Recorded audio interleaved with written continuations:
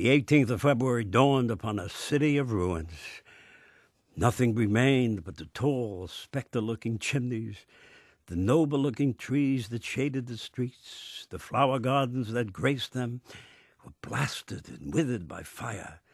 The streets were full of rubbish, broken furniture, and groups of crouching, desponding, weeping, helpless women and children.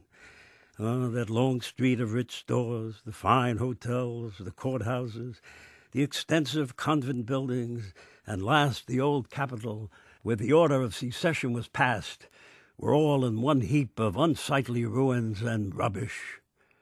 David Cunningham. Groups of men, women, and children were gathered in the streets and squares, huddled together over a trunk, a mattress, or a bundle of clothes. Major George Ward Nichols. The city was a scene of smoldering ruin. Private John C. Arbuckle. Around the charred ruin of their homes were grouped whole families, mourning and weeping over the terrible desolation. Who could see it and not feel that justice had been avenged in this great curse on the city? Captain S. H. M. Byers. The truth is, last night our men got beyond our control. General Oliver Howard. I have never doubted that Columbia was deliberately set on fire in more than a hundred places. General William B. Hazen. On the morning of February 20th, Sherman's army marched out of Columbia, leaving behind 500 head of cattle in poor condition to feed the 7,000 remaining residents. All public property surviving the fire had been destroyed, except for the new Capitol under construction, which Major George Ward Nichols thought was because it was such a beautiful work of art. The Capitol building is far from completion, but if ever finished, it will be the most beautiful architectural creation in this country.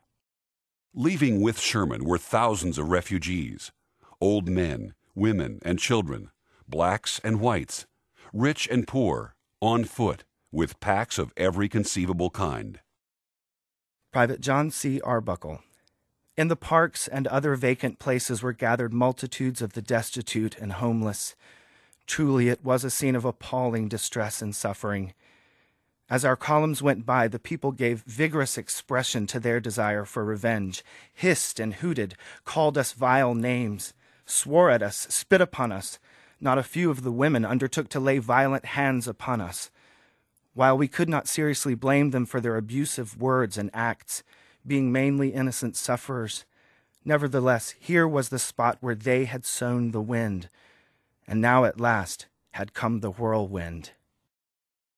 Major George Ward Nichols. Columbia will have bitter cause to remember the visit of Sherman's army.